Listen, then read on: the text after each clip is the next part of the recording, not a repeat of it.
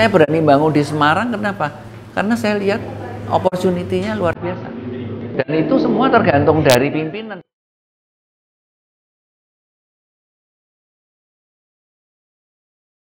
Ini pimpinannya bagus. Pak Endi ini anu sangat sangat membantu kepada masyarakat Semarang, kepada investor gitu. Dan selama ini kreatif gitu. Kreatif ini di tahunnya yang kedua dia menjabat itu ya, kreativitasnya luar biasa. Maka itu nanti kalau 2024 saya berharap bahwa Semarang ini nanti akan menjadi kota wisata, kota kuliner, kota pendidikan dan goalnya ya menurut saya goalnya ya Semarang harus jadi tempat yang mahal nilainya. Jadi goalnya semua itu nilai dari sebuah tempat. Kalau tempat itu bagus, mahal. Ini loh, wali kotanya yang luar biasa.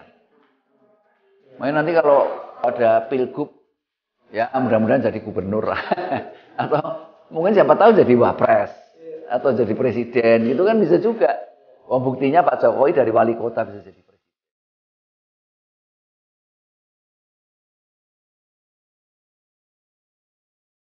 presiden. Wali kota itu welcome sekali kalau memang ada eh, hal-hal uh, yang yang akan saya komunikasikan dengan hmm. pertahanan komunikasi itu welcome sekali. Bahkan kita tuh ditanya, jadi ada gimana VPN ada masalah apa, hmm. gimana VPN ada perlu apa gitu kan. Hmm, hmm. Intinya bagus lah, itu ya, intinya ya. koordinasi, hmm. kemudian visinya, kemudian ya. apa uh, istilahnya uh, dalam rangka juga saya melayani masyarakat itu itu hmm. uh, bagus lah.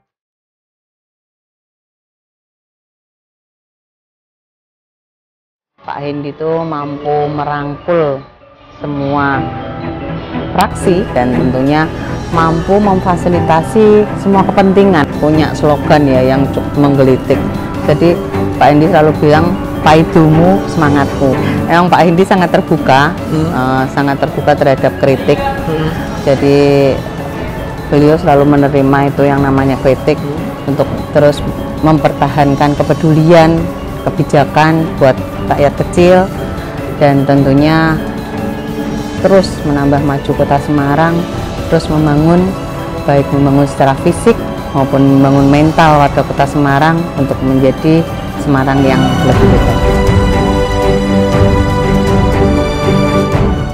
Fokusnya di Semarang nanti tahun depan masih tetap di infrastruktur menunjang sektor pariwisata. Kami ingin pariwisata tumbuh berkembang. Selama membangun Semarang tidak pernah diganggu.